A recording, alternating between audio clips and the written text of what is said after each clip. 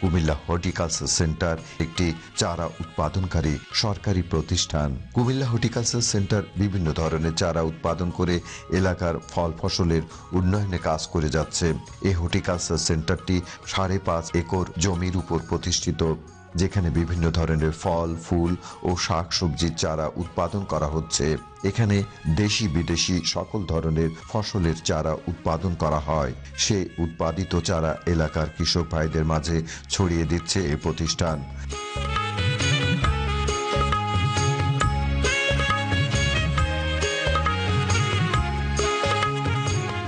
যখন থেকেই ছাদ কৃষি করতেছি বা আমার বাড়ির আঙ্গিনায় যেসব চারা লাগাচ্ছি এখান থেকে নিচ্ছি। কারণ তুলনামূলকভাবে এই হর্টিকালচারের প্রাইস আমাদের ভালো লাগে। আই মিন প্রাইসটা আমাদের জন্য ঠিক আছে।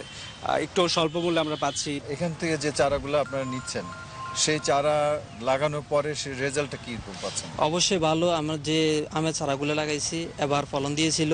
তো সামনের দিকে আবার ফলন দিব। এবং কি আমি সফেদাও নিয়েছিলাম এখনও ফলন আছে। মাঠ পর্যায়ে ফলের গাছ তৈরিতে সমস্যা হলেও সরজমিনে গিয়ে সহযোগিতা করে এ প্রতিষ্ঠান। এ হর্টিকালচার সেন্টারে স্বাভাবিকভাবে উদ্যান ফসলের চারা উৎপাদন করে থাকে।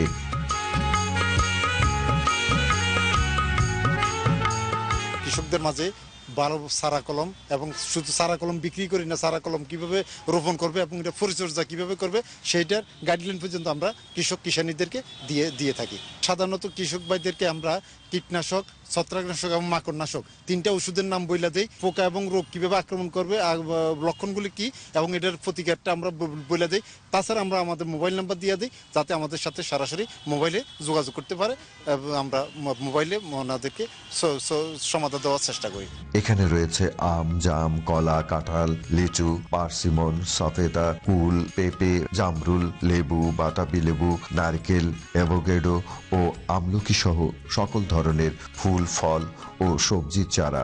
এখানে ফল গাছের কলমের মাধ্যমে উন্নত জাতের মাতৃ গাছ থেকে চারা উৎপাদন করা হয়ে থাকে।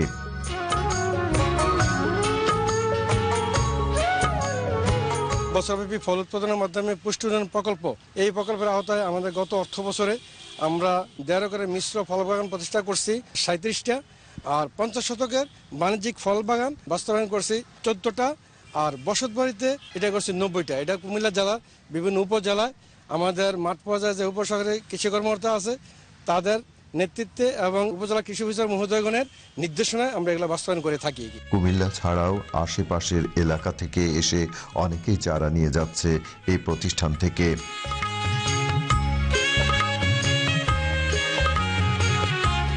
কাঁঠালের চারা নিছি বেলি জবা গোলাপ। এখানে যে চারা পাওয়া যায় এটা কীভাবে জানেন? আমার মেয়ে আরও আসছিল ও সব সময় এখান থেকে নেয় শুনছে এরপর আমাকে নিয়ে আসছে। আমাদের বারান্দা আছে অনেক বড় বারান্দার সামনে আবার টব রাখার জায়গা আছে ওইখানে লাগাই। আমার হাতে গন্ধরাজ আছে ক্যাপসিকাম আছে দেন দুপাটি আছে। আমি এখান থেকে প্রায় সময় চারা নিয়ে যাই। এখানের যথেষ্ট মানসম্মত চারা পাওয়া যায় ইভেন স্বল্প মূল্যে। তো এই জন্য এখান থেকে মানে অন্যান্য জায়গা থেকে এখানে একটু ভরসা করতে পারি। এই হর্টিকালচার সেন্টারে মাশরুম উৎপাদনের প্রশিক্ষণ প্রদান করা হয়ে থাকে। এখান থেকে প্রশিক্ষণ গ্রহণ করে অনেকে মাশরুম চাষ করছেন।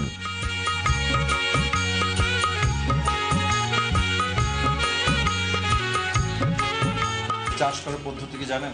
যে আমি তাদেরকে জিজ্ঞেস করছি তারা আমাকে খুব ভালোভাবে বুঝিয়ে দিয়েছে। তারা যেভাবে প্রক্রিয়া বলেছে আমি ওইভাবে প্রস্তুত করতেছি এবং আমার কিছুটা এর আগেও ধারণা নিয়েছি। তো ওই রকমভাবে আমি কাজ করব আর কি। মাশরুম খুব উপকারী একটা খাদ্য। স্বাস্থ্যের জন্য এবং ডায়াবেটিস প্রতিরোধের তারপর বিভিন্ন রোগ প্রতিরোধের ক্ষমতা বাড়ায়। কুমিল্লা হর্টিকালচার সেন্টার বৈজ্ঞানিক পদ্ধতি অনুসরণ করে গাছের চারা উৎপাদন করছে। এতে এলাকাবাসী বিশুদ্ধ চারা পেয়ে সফলতার সাথে এলাকায় বিভিন্ন ফসলের আবাদ করছেন এবং লাভবান হচ্ছেন।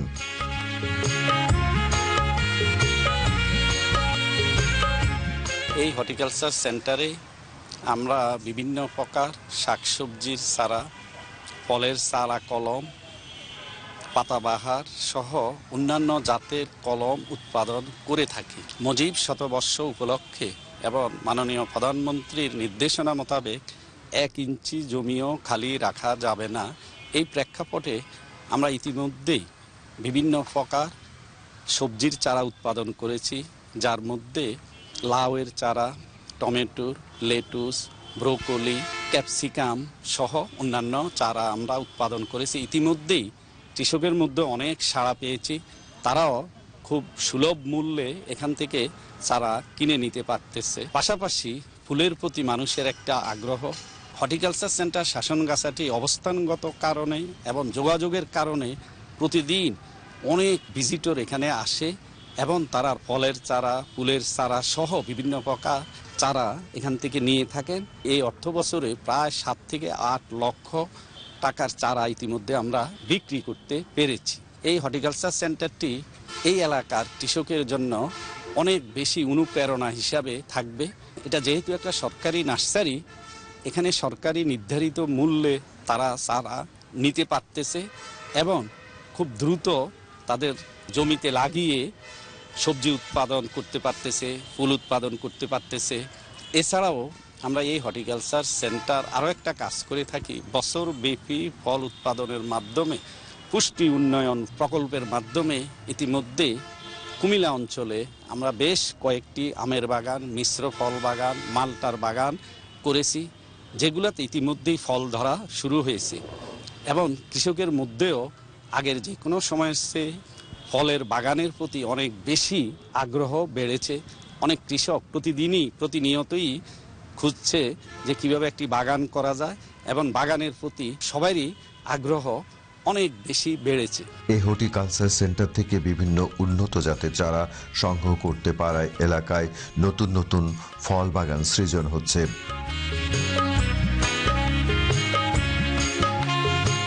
এই সেন্টারের মাধ্যমে ইতিমধ্যে আমরা মাশরুম উৎপাদনের ধারা অব্যাহত রেখেছি। ইতিমধ্যেই আমরা বেশ কিছু কাঁচা মাশরুম যেটাকে বলে, যা মানুষ অতি সহজে খেতে পারে।